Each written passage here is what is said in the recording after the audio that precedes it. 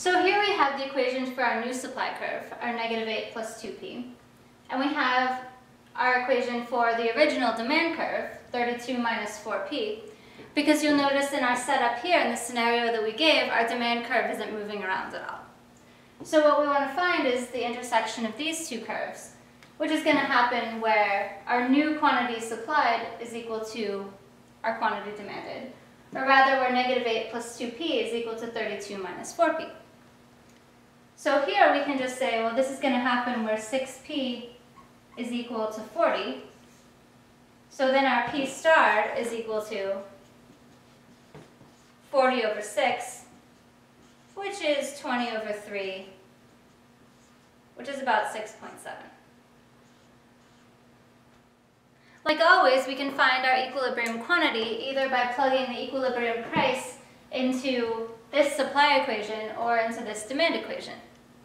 So here we could say that our equilibrium quantity is equal to 32 minus 4 times 6.7, which is just 32 minus 26.8, approximately, which is equal to about 5.2.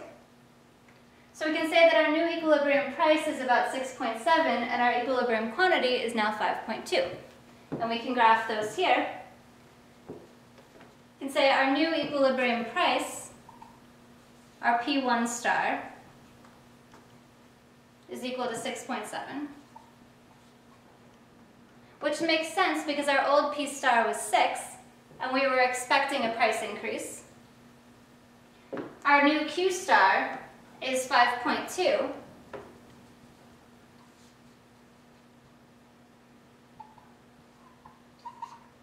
Which is also not surprising because we're expecting a decrease in quantity.